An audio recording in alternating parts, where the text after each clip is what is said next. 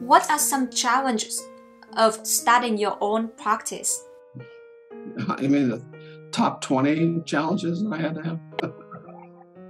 yeah, it, it, everything's a challenge. You have to, got to go get a corporate name, you got to get your computers together, you got to get the, uh, the, the whole process is a challenge. And probably the biggest challenge is dealing with the fear and the anticipation and the failure, and those are the kinds of things. Uh, luckily, I had a lot of friends. Luckily, I had several friends who were entrepreneurs, and we could huddle together. Um, but yeah, I think it's just the process change. It's like moving into a new house. Okay, you bought it, you love it, then you find the five thousand things you need to change about it. You know, so and three years, three years later, you say, ah, ah this is not, this is the way we like it.